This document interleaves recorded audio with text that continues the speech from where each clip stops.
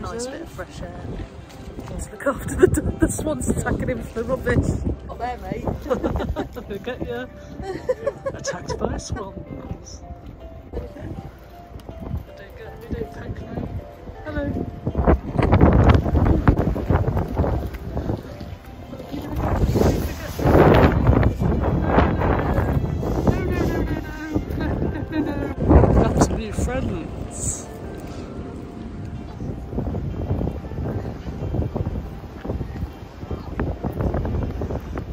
Walking with oh.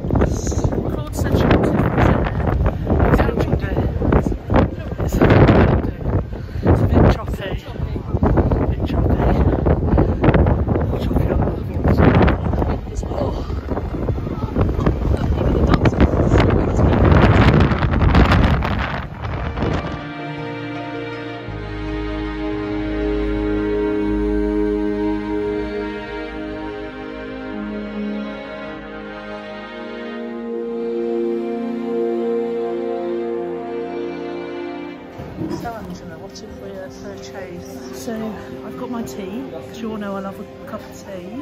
I'm sure we'll show you how to make it in a moment. And cheese goes, and Claud has got some of her Longhorn beef crisp. Mmm, what's your beef?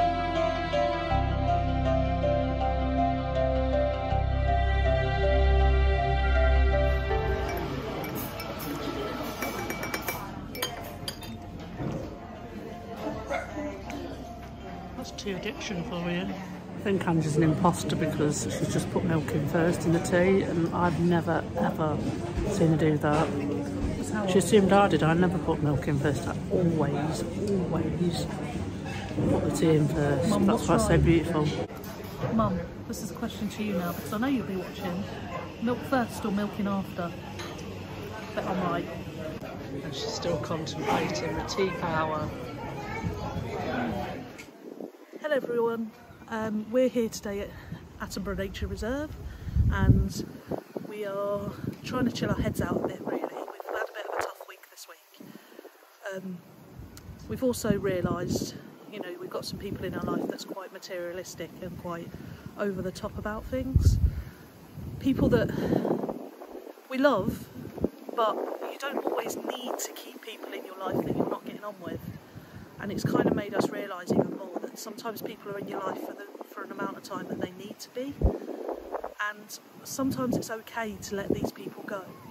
It's okay to let them peter off into the distance a little bit. And it's okay just to stand in your own strength and stand in your own truth and say what you believe and what you believe to be true.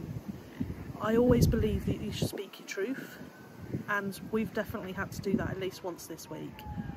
Um, there has been lots of other stuff going off as well, which I'm not going to discuss here, but sometimes you just need a break and you just need to stop and let your mental health recuperate and get yourself back to a, a normality.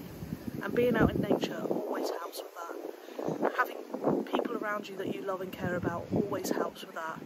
And just spending time with the people you love and the people you care about. So go do it.